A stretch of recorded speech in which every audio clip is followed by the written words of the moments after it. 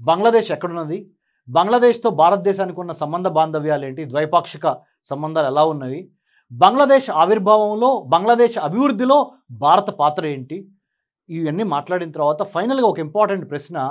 బంగ్లాదేశ్ ఈ రోజున ఈ పరిస్థితిలో ఉండటానికి అంటే అవామీ లీగ్ పార్టీ ద్వారా ఆ దేశ ప్రధానిగా నిన్న మొన్నటి వరకు ఉన్న షేక్ హసీనా గారు రాజీనామా చేసి భారతదేశం రావటానికి అక్కడి నుంచి పారిపోబడటానికి అక్కడ రిజర్వేషన్కి కోటాకి వ్యతిరేకంగా లక్షల మంది స్టూడెంట్స్ కానీ సివిల్ సొసైటీ గ్రూప్స్ కానీ రోడ్డు మీదకు వచ్చి ఒక దేశ ప్రధానిని ఆ దేశం వదిలిపెట్టి బయటికి పంపించగలిగిన శక్తి సామర్థ్యం యుక్తి ఎక్కడి నుంచి వచ్చినవి?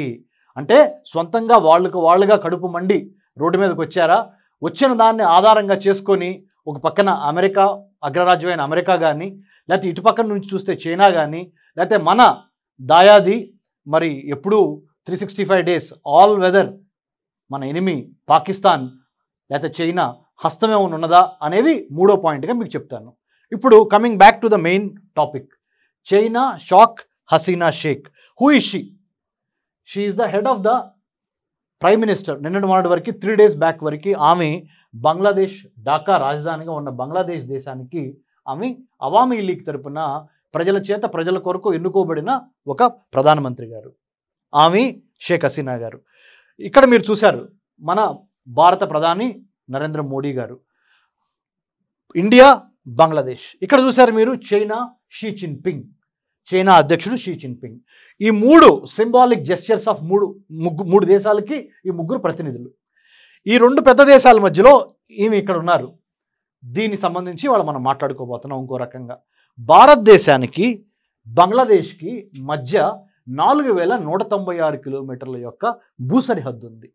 భారతదేశానికి పదిహేను వేల కిలోమీటర్ల పైచిలుకు భూసరిహద్దు భారతదేశము బంగ్లాదేశ్ భారతదేశము చైనా పాకిస్తాన్ నేపాల్ మయన్మార్ భూటాన్ ఆఫ్ఘనిస్తాన్ ఇవన్నీ కలిపి దక్షిణ ఆసియాలో భారతదేశానికి చుట్టుపక్కల ఉన్న ఈ దేశాలన్నీ కలుపుకుంటే South Asian Association for Regional Cooperation అంటారు సార్క్ అంటే భారతదేశానికి ఈ చుట్టుపక్కల ఉన్న దేశాల పేర్లు ఇప్పుడు చెప్పాను నేను.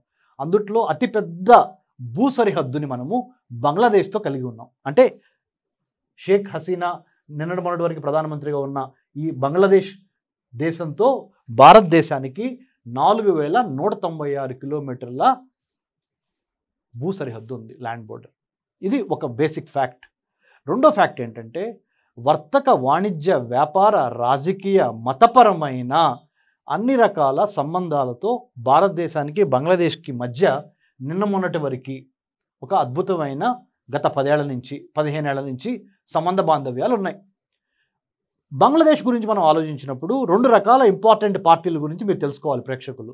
బంగ్లాదేశ్ నేషనలిస్ట్ పార్టీ ఖలీదా బేగం ఖలీదా జియా అని ఇదివరకు ఆమె ప్రధానమంత్రి గోడ్ చేశారు ఆమె అవామీ లీగ్ నేతృత్వంలో షేక్ హసీనా గారు. వీళ్ళిద్దరి మధ్య జరిగిన వర్గ పోరు పార్టీ పోరులో షేక్ హసీనా గారు రెండు వేల తొమ్మిది నుంచి వాటి వరకు గత పదహారు పదిహేడు ఏళ్ళ నుంచి షేక్ హసీనా గారు అప్రతిహతంగా పరిపాలన సాగించి ఆమె ఒక మొనార్కుగా మొనార్క్ అంటే ఏమని చెప్పాలంటే మన తెలుగు భాషలో చెప్పాలంటే ఒక ఆటోక్రసీ కింద అంటే ఇంగ్లీష్లో ఆటోక్రసీ తెలుగులో చెప్పాలంటే ఏక ఛత్రాధిపత్యం వేరే వాళ్ళకి అసలు వేరే వాళ్ళని మాట్లాడించకుండా ఆమె ఒక రాజ్యాంగేతర శక్తిగా కూడా రాజ్యాంగాన్ని దేశాన్ని మించిన శక్తిగా కూడా ఆమె ఎదిగారు అనేది ఆమె మీద ఉన్న ప్రథమ ఆరోపణ. మానవునికి సంబంధించిన విద్య వైద్యం ఆరోగ్యం పర్యావరణము ఉపాధి అనే వాటి మీద షేక్ హసీనా గారు అసలు దృష్టి పెట్టలేదు. కాబట్టి నిరుద్యోగం పెరిగి ఆకలి మంటలు పెరిగి పేదరికం పెరిగి వ- సరైన వైద్య సదుపాయాలు లేక రహదారులు లేక ప్రజలు విసిగి వేసారి ప్రజల యొక్క నాడిని ప్రజల యొక్క వాడిని తెలియజేయడానికి యువత ఎప్పుడు మొదలుంటుంది కాబట్టి ఏ విప్లవంలోనైనా ఇక్కడ బంగ్లాదేశ్లో కూడా students they have come forward and they have taken up the cause of eradicating all these illnesses that I have mention some time back so that Bangladesh will be on the growth trajectory Bangladesh ఒక అభివృద్ధి పదవిలో నడవాలి అంటే వీటన్నిటినీ నిర్మూలించాలి అనేది students నమ్మి ఆమెకి వ్యతిరేకంగా ప్రధానమంత్రి కార్యాలయము ప్రధానమంత్రి నివాసం మీద దాడి చేయడం జరిగింది. ఇది బంగ్లాదేశ్లో గత నాలుగు రోజుల నుంచి జరిగింది. రెండు రోజుల క్రితం ఆమె బంగ్లాదేశ్ విడిచిపెట్టి ఆర్మీ హెలికాప్టర్లో బంగ్లాదేశీ ఆర్మీ హెలికాప్టర్లో భారతదేశంలోని హిండన్ ఎయిర్ బేస్ గాజియాబాద్ ఉత్తరప్రదేశ్ దగ్గర ఉన్న దగ్గర ఆమె దిగి భారతదేశం యొక్క మరి రక్షణ పొందటానికి అంటే మన ప్రభుత్వం నుంచి రక్షణ పొందటానికి ఆమె ప్రాణాలను అరిచేతిలో పెట్టుకొని వచ్చారు కాబట్టి మనం ఇప్పుడు రక్షించాము. పూర్తిగా ఆమెకి మనము భారతదేశం తరపున పూర్తి రక్షణ ఇవ్వబోతున్నామా? రాజకీయ శరణార్థిగా వచ్చిందా? లేకపోతే పారిపోయి వచ్చిందా? ఆమె మీద ఏమన్నా నేరాలు ఉన్నాయా? ఆమె మీద ఏమన్నా అవినీతి ఆరోపణలు ఉన్నాయా? ఉండినప్పుడు ఒక court of justice law of the land ప్రకారం అంటే Bangladesh law of the land ప్రకారము వాళ్ళు ఒక రోజున ట్రయల్కి పిలుస్తారా? ఇవన్నీ రాబోతున్న రోజుల్లో మనం తెలుసుకోవడానికి అవకాశం ఉన్నది. ఇప్పుడు ప్రస్తుతం మనం మాట్లాడుకునేది ఏంటంటే ఇతని గురించి మాట్లాడాలి. ఇతను ఎవరు? మీకు బాగా సుపరిచితులు. Chinese president Xi Jinping. ఈయన భారతదేశానికి చైనాకి మధ్య మూడు వేల నాలుగు వందల ఎనభై ఎనిమిది కిలోమీటర్ల ల్యాండ్ బోర్డర్ ఉంది.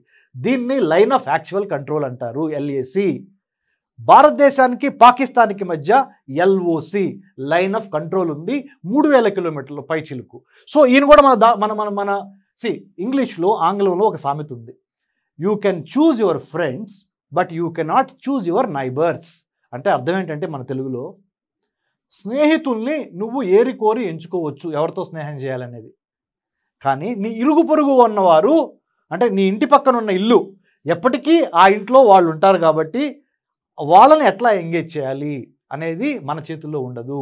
అంటే you can you have the liberty to choose your friend but you don't have the liberty to choose your neighbour ఎందుకంటే ఆయన ఆయన సొంత స్థలంలో ఆయన ఇల్లు కట్టుకొని మన పక్కన ఉన్నాడు కాబట్టి అతనితో శత్రుత్వం వచ్చినప్పుడు ఎలా ఎంగేజ్ చేయాలి?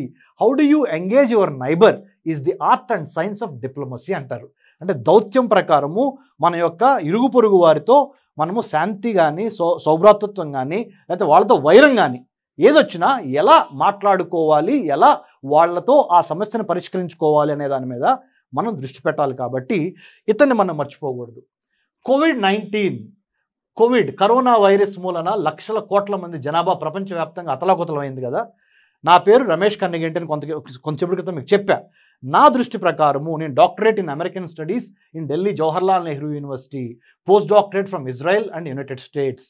గత పదిహేను ఏళ్ళ నుంచి నేను స్ట్రాటజీ సెక్యూరిటీ ఫారెన్ అఫైర్స్ విదేశీ వ్యవహారాలు పక్కా ప్రణాళికతో అంతర్గత భాగంగా అంతర్గత భద్రతలో భాగంగా జియో పాలిటిక్స్ ఈ అంశాలన్నిటి మీద నేను మేధోమదనం చేయటము రాయటము టీచింగ్ చేయటం ఐఏఎస్ ఐపీఎస్లకి జరుగుతున్నది.